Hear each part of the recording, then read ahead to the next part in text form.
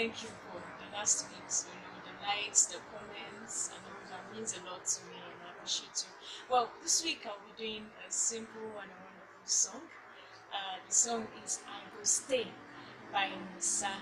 Uh, and after you listen to the song, we'll be back here, and I'll tell you how the song inspires me. Stay tuned.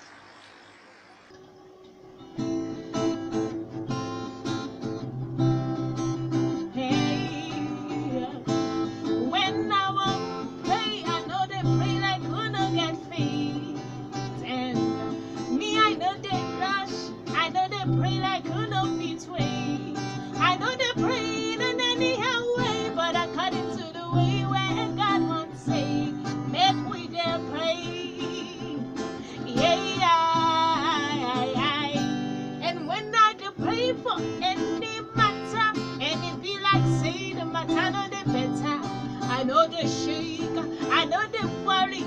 As long as God still there for heaven, I can stay, I go wait till my prayer don't prevail, and my faith no go shake it. Cause Jesus never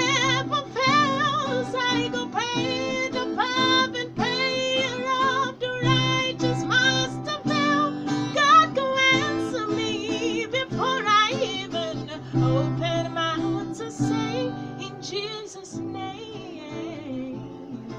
Hey, Jesus' name. Yeah.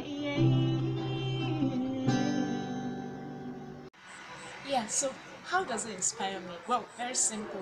Uh, last week we talked about praying, you know, about our dreams and all of that. But this week I just realized that it's not enough to pray. It's actually more important to actually remain in prayer, you know, while you are, you know, uh, waiting for the answer. You don't just stay, you know, and just sit down, be like, God does not answer prayers. No, you actually remain there, you know, and continue to pray. And that is what Nosa was just saying. I say when I won't pray, I know they pray like who no get faith. You know, I know they rush. I know they pray like who no won't, stay. You know, I go stay, you know, and all of that. And this inspires me to actually remain, you know, and to actually believe that God can answer my prayers. And this is why I chose this song. It inspires me. I hope it inspired you too. So see you next week. Like video, you